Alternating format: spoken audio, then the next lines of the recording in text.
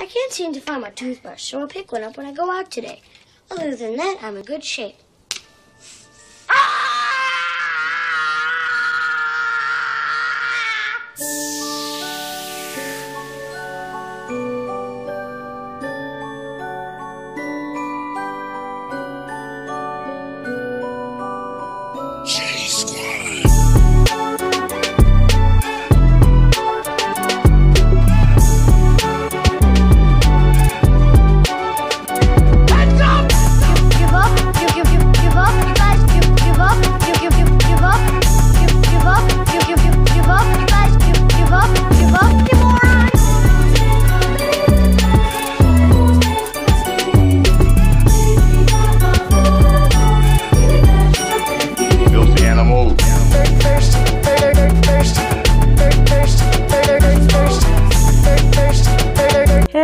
Welcome back. So today we are going with Marv. He is one of the two wet bandits from the Home Alone movies. So to start this off, I'm going to be going in with a white pencil. I believe this is actually an eyeliner pencil, but I do this for any tutorial where I want to map out what I'm doing ahead of time. Instead of just going full in, it definitely helps, especially because it's super easy to wipe off. And then once I'm done and I have the general look that I want of the outline, I'm going to be using a red water activated paint. This one is from FX Cosplay, and I'm going over most of my lines.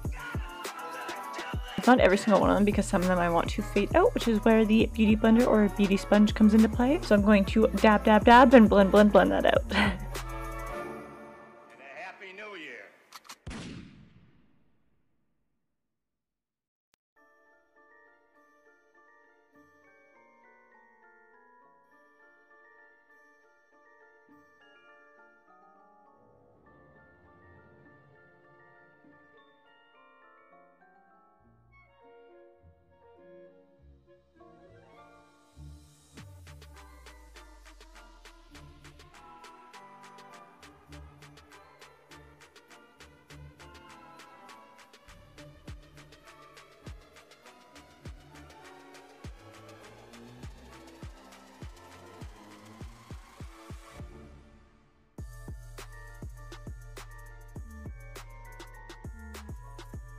to create the indentations, I'm going to be using a wet q-tip and just literally making three lines. Starting from top to bottom or start from the bottom now here. And then adding a little bit of mascara to my top and bottom lashes. Adding Soft Spoken from NYX Cosmetics onto my lips. Only a little bit though, smack them together and then adding one over top to make a ombre effect.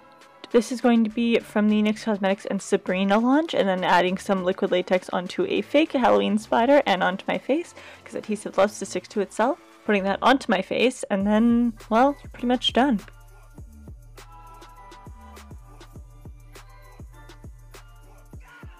Add a little tweak or two to your hair, or just headbang really intensely and don't fix it afterwards. Your choice. Uh, beautiful as always. And we're done if you just want to add a jacket. As always, thank you for watching, subscribe if you haven't already, and I'll see you in my next video. Bye guys!